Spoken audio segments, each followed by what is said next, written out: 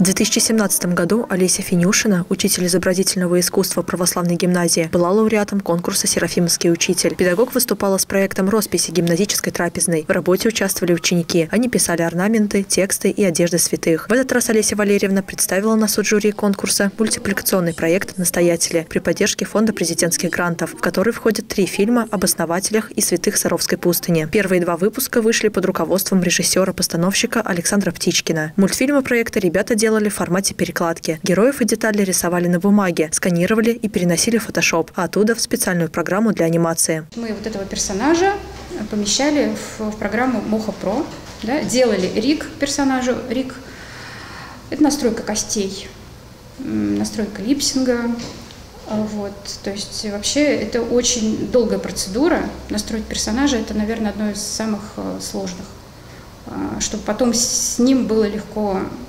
заниматься. А, вот, и делали анимацию. В рамках проекта Олеся Валерьевна вместе с учениками ездила в различные города, чтобы собрать информацию для мультфильмов. Там юные художники делали архитектурные зарисовки, переносили на бумагу виды оружия, костюмов и предметов быта. В процессе работы у педагога на столе всегда лежали книги саровских краеведов Валентина Степашкина и Алексея Подурца. Ведь для Олеси Финюшиной в мультфильмах важна была историческая достоверность. В третьем выпуске появились векторные персонажи, а ребята стали рисовать не только на бумаге, но и на планшетах. Присудить звание «Серафимовский учитель Олеси Финюшиной жюри конкурса приняли единогласно. Я все время говорю, что это не моя заслуга, ну, не, не только моя заслуга, а заслуга директора. В общем-то, она мне помогает в, в этом. То есть, когда я ей предложила мультик, потом я прям испугалась этого слова, зачем я вообще сказала. А она говорит, нет, надо озвучивать это вслух, надо про это говорить, и тогда это получится.